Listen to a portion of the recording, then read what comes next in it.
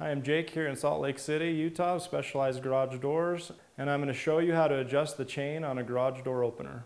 So to adjust the chain tension on your operator, the, what you're going to use are these, this system right here of, of nuts. And basically what you're looking for is if your chain is hanging down real low, starting to drag on the door, uh, take a quick peek up at the top of the motor to, to see if that sprocket is starting to wear out.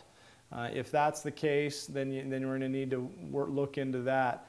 So if your chain is hanging down real low, um, go ahead and, and loosen up this, this nut on the right. Get, get that nice and loose and to, to tighten things up. You can use a pair of needle nose or just go ahead and go ahead and manually one by one tighten the chain up. And then what, what you're looking for is you want the chain sagging just enough to be slightly above the bottom of this rail.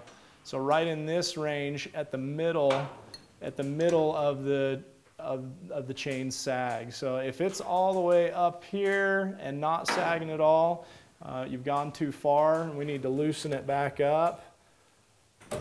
So you have just a little sag to it. And then that's, that's the correct way to set the chain tension on a chain driven operator. Go ahead and set this back down. Make sure you're good and tight and you're, you're back in business. Again, I'm Jake with Specialized Garage Doors and we've just shown you how to adjust the chain on your garage door opener.